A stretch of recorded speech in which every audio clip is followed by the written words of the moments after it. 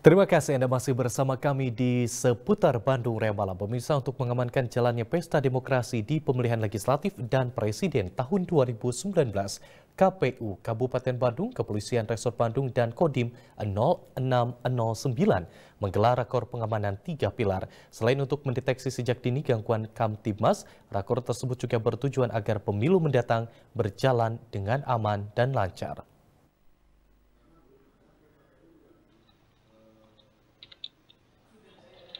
Guna mengantisipasi gangguan keamanan dan ketertiban masyarakat jelang pemilihan legislatif dan presiden, KPU Kabupaten Bandung bekerjasama dengan Pemkap Bandung, TNI, dan Polri menggelar rapat koordinasi tiga pilar di Gedung Muhammad Toha Kompleks Pemkap Bandung selasa siang.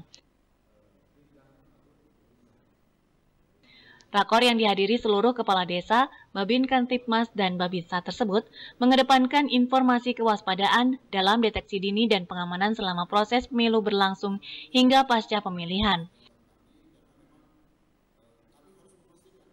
Menurut Ketua KPU Kabupaten Bandung, Agus Baroya, rapat koordinasi ini untuk mencoba mengkampanyekan kepada stakeholder di kewilayahan serta seluruh kepala desa Rakor tersebut akan dilaksanakan di tujuh dapil Kabupaten Bandung secara berkelanjutan. Inisiasi oleh Kesbangpol yaitu mencoba mensosialisasikan tentang pemilu ini kepada tiga pilar, baik tiga pilar di tingkat kecamatan yaitu Pak Camat, Pak Kapolsek dan Ramil, termasuk juga kasih tertibnya dan juga tiga pilar di tingkat desa yaitu kepala desa, lurah, kemudian Kapolsek dan uh, dan Ramil ini uh, menjadi harapan kita semua dan alhamdulillah terwujud dan insya Allah ini akan kita lakukan roadshow.